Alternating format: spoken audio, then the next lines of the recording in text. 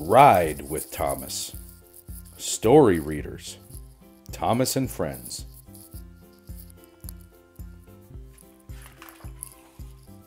Today, Thomas has two important jobs.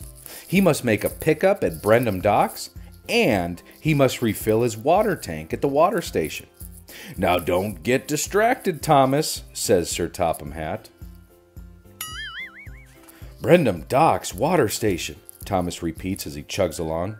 Hello, Thomas, whistles Gordon, whooshing by with the express. Hello, Thomas, toots Edward, rolling along with some coal.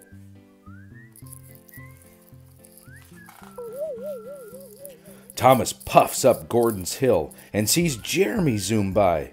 Brendam Docks Water Station. That's where I'm headed today, peeps Thomas proudly.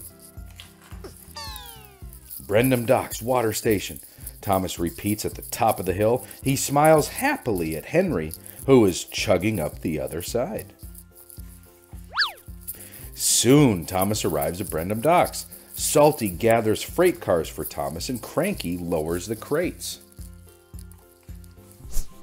As Thomas leaves the docks, he sees Neville and Harvey transporting flowers.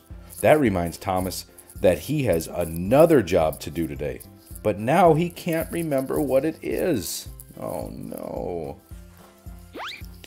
Thomas sees James picking up passengers to take to Knapford Station. Is Knapford Station my next stop? Thomas wonders. Across the field, Thomas sees Percy on his way to Maithwaite Station. Perhaps Maithwaite Station is my next stop, Thomas thinks. Thomas pauses near the water station to think. Rosie puffs by. Hello, Thomas. Getting some water? water station. That's it. Thomas is supposed to fill his water tank. Thank you, Rosie. Thomas peeps gratefully. After Thomas refills his water tank, he and Rosie ride to Knapford Station together.